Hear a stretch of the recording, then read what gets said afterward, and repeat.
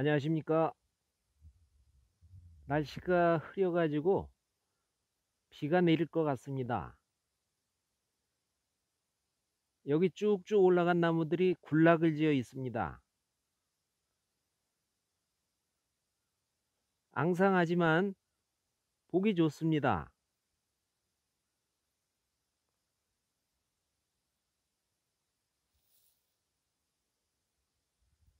가시가 이렇게 있는데요. 오늘 탁월한 약성의 이 식물 소개하겠습니다. 두릅나무과 식물의 원조목 두릅나무입니다. 이 두릅나무과 식물로는 인삼, 오갈피, 독활, 음나무, 송악 같은 식물들이 있습니다. 공통적으로 사포닌이 풍부하게 함유되어 있습니다. 당연히 약효가 좋습니다. 이 두릅나무도 봄철에 부드러운 순이 향긋하고 영양 많은 나물로 유명하지만 약재로도 좋은 약초입니다. 봄에 먹는 두릅순도 약효가 있습니다. 그러나 줄기와 뿌리에 좋은 성분이 더 많고요. 가을 이후에 채취한 것이 가장 약효가 좋습니다.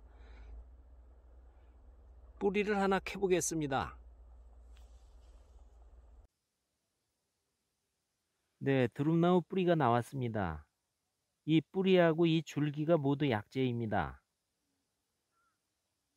원래는 껍질을 주 약재로 쓰지만 그냥 잘게 잘라가지고 좀 더 양을 많게 해서 다려 복용해도 좋습니다. 네, 두릅수는 많이 먹는데 이 두릅나무 뿌리 맛은 어떤지 제가 한번 보겠습니다.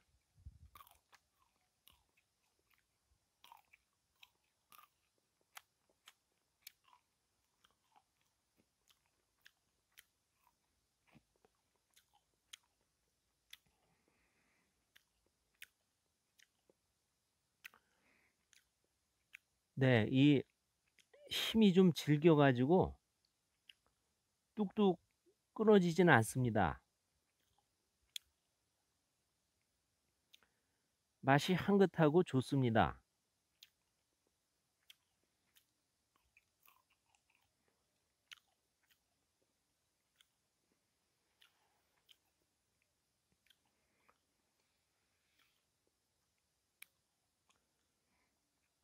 이 줄기 껍질을 총목피라고 하고요.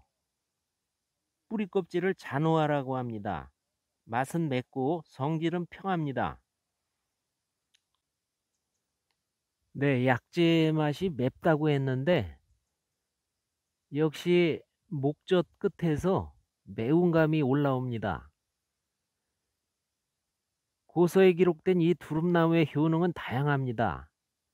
보기, 즉 허약한 원기를 높이는 기능이 있고 강정 자신이라고 해서 정력을 증진하고 신장 기능을 튼튼히 함으로써 양기 허약, 신양 부족, 기혈증 등의 효능이 있고 안신작용으로 정신을 안정시키며 건의작용으로 위장을 튼튼히 해주고 풍에 의해서 일어나는 질병의 원인을 제거하는 거풍작용, 혈액순환을 잘 되게 하고 탁한 담을 없애는 활혈소담의 효능들이 기록되어 있습니다. 네, 현대적 관점과 밝혀진 두릅나무 효능을 좀 더 말씀을 드리겠습니다. 이 두릅나무는 신장 기능 허약으로 양기가 부족하며 기력이 허약해서 보행에 지장이 있을 정도로 다리에 힘이 없는 증상에 효능이 있습니다. 이 두릅나무를 자주 먹으면 양기를 북돋우고 기혈을 잘 통하게 해서 기력을 왕성하게 해줍니다.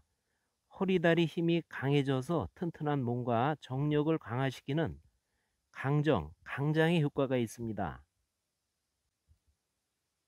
네, 두릅나무 특히 이 뿌리는 신장과 당뇨에 좋은 효능이 있습니다. 신장 기능을 튼튼히 하고 신장염 등 신장병의 예방 치료 효과가 있으며 소변 배출을 원활히 해줍니다.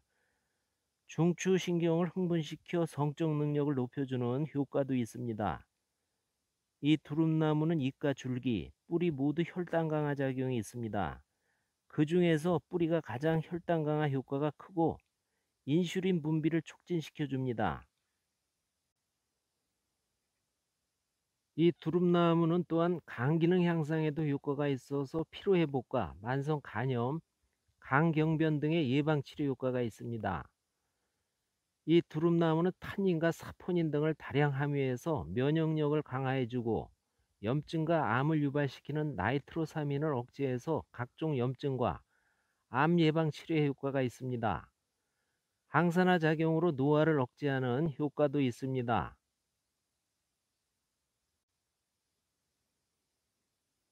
이 두릅나무는 또한 혈관계 질환의 예방 치료에 효과가 있습니다.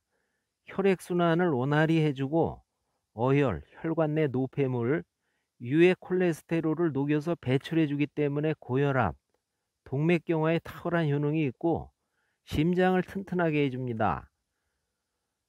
또한 신경계를 강화시켜주는 효능이 있어서 긴장, 초조, 불안, 신경쇠약, 불면증 등 스트레스를 완화하여 정신건강에도 좋습니다. 이 두릅나무는 풍을 제거하고 통증을 진정, 완화시키는 작용이 있어서 신경통, 위경련, 관절염 등의 효과가 있습니다.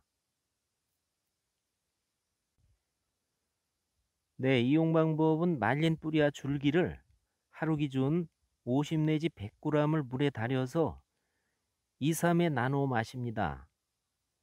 주의사항으로는 이 두릅나무는 장기적으로 복용하면 독성이 유발될 수 있습니다. 2주 정도 복용하고 나서 2주 쉬고 다시 복용하는 방법으로 이용합니다. 오늘은 뛰어난 효능의 두릅나무 소개해 드렸습니다. 감사합니다.